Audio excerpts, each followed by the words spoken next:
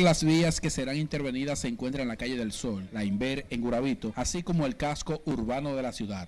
Eh, tendremos eh, los inspectores de tránsito del Intran y los miembros de la DGC que estarán trabajando para que esos estacionamientos no, se, no ocurran y también trabajar en la eh, agilidad, ¿no? agilizar el tránsito. En algunos puntos de la ciudad se prohibirá el estacionamiento a la derecha para evitar tapones. De la calle 30 de marzo a la avenida España, a la calle España, no vamos a permitir el estacionamiento que está ahí a la izquierda cuando uno cruza la 30.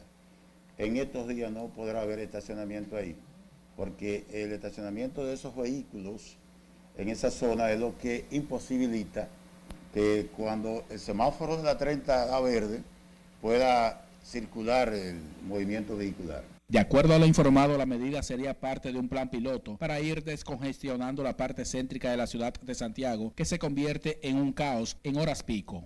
El ayuntamiento de Santiago y todos los ayuntamientos del país son parte importante de lo que es esta ley 63-17